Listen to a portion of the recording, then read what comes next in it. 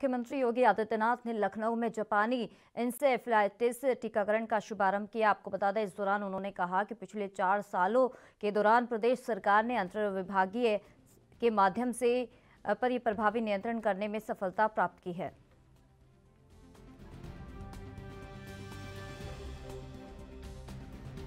है कि पिछले चार वर्षों के दौरान प्रदेश सरकार ने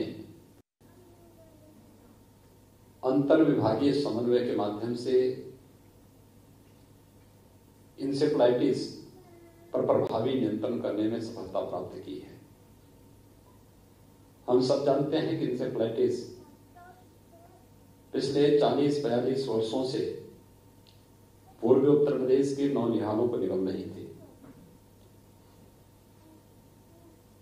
अकेले पूर्वी उत्तर प्रदेश के केंद्र बिंदु गोरखपुर के बिहाड़ी मेडिकल कॉलेज में इस बीमारी से प्रतिवर्ष हज़ार बारह सौ बच्चों की मौत होती थी। और जो लोग मेडिकल कॉलेज तक नहीं पहुँच पाते थे, उनकी संख्या भी लगभग इतनी ही थी। लगभग बयालीस वर्ष चालीस वर्षों तक मौत का सिलसिला चलता रहा।